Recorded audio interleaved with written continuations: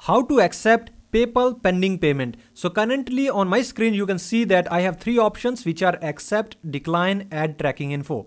So if you will go to the dashboard of the PayPal account, then on the right hand side, you will see that I have this payment pending.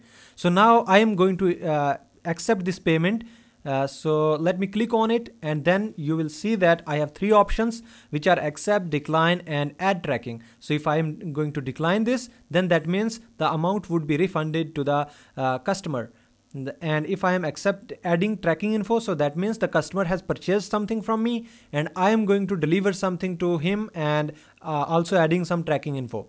So for now I have my friend who has just sent me some amount. So I am no more interested to click on this button and this button. So I am going to click on accept. So let me click on accept.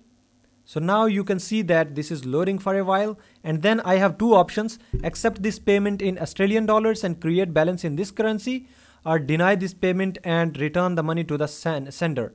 So now I am interested to accept this payment in Australian dollar. So let me click on submit. So once I submit it, so that means the amount has been yeah now you can see that payment accepted you have successfully accepted this payment the australian dollars balance has been opened what do you want to do next? Now i'm going to uh, go to my account. So once i'm returning here here you can see that i have this much uh, amount in my paypal account.